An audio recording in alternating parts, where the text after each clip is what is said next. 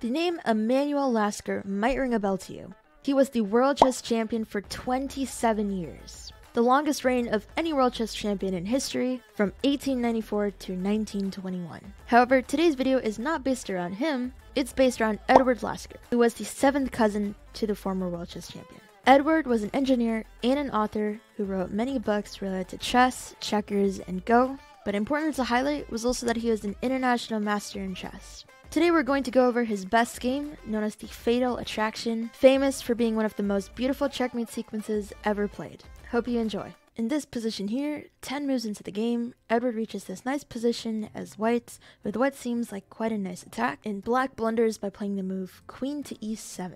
This is the start of a beautiful tactical sequence. This is the importance of always calculating your forcing moves first, no matter how crazy or out there they look, because you never know what you're going to find. If you keep going forcing move by forcing move down a rabbit hole, you might end up finding something that you didn't expect to find. I'd recommend that you pause the video here to try to find out how you would continue as whites.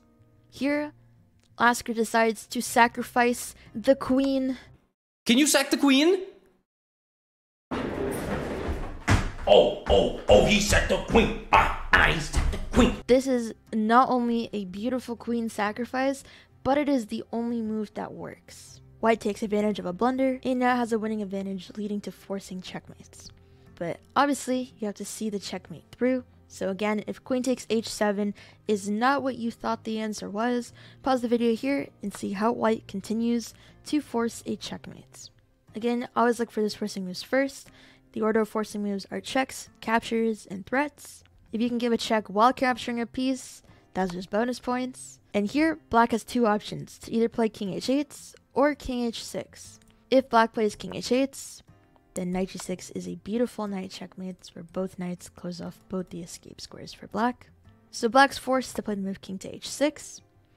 And now it's important to figure out how to keep continuing with the checks. White wants to use as many of his pieces as possible while working together to continue to drive the king forward.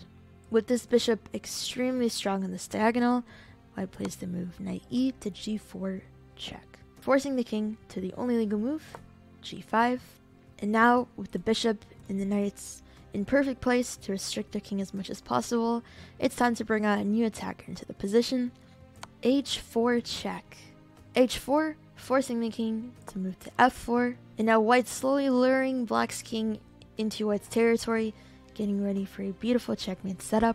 Edward played the move g3 check, again bringing another attacker into the game, while continuing to lure the king towards white's side of the board.